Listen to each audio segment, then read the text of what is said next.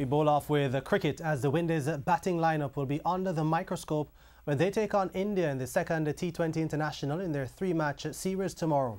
The Windies don't have a specialist opener in their squad, with Shai Hope and Dinesh Ramdin doing the job in the first match with little success. And with none of the other batsmen getting any significant scores, the side was restricted to 109 for 8, batting first, a target which proved comfortable for India in the end, as they won by 5 wickets. News coming out of India is that fellow wicketkeeper batsman Nicholas Pooran could replace Ramdin in the Windies team for the second match, which the Caribbean side must win if they have hopes of capturing the series.